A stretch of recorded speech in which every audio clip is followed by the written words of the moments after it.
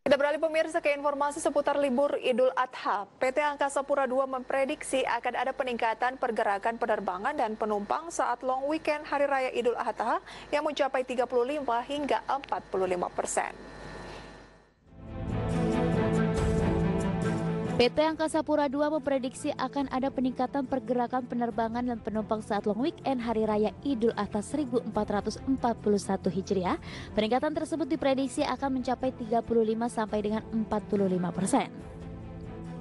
Direktur Utama PT Angkasa Pura II M. Awaludin menyatakan pihaknya akan terus mendorong maskapai untuk kembali mengaktifkan program penerbangan rute yang saat ini masih berstatus no operation.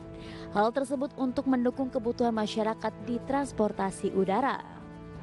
Kondisi traffic di Bandara Internasional Soekarno-Hatta, alhamdulillah sudah bergerak eh, naik ya.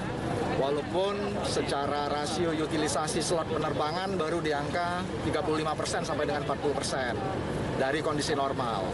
Dalam artian setiap hari sekarang sudah ada di angka sekitar 400 sampai 450 take off landing setiap hari.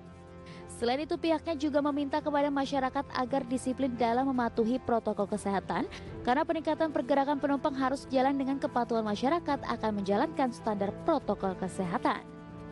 Dari Tangerang, Banten, Hasnugara, IDX Channel.